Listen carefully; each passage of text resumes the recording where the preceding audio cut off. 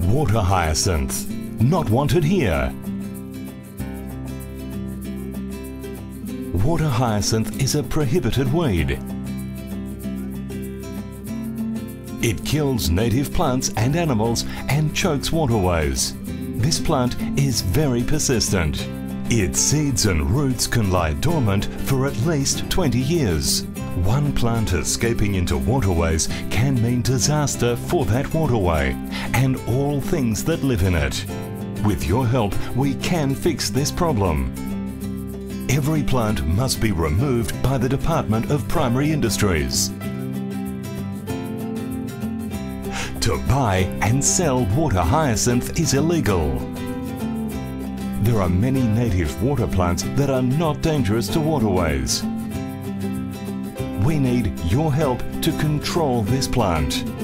Call the Department of Primary Industries and we will collect them for free. To report, call Customer Service Centre on 136 186. See it, report it.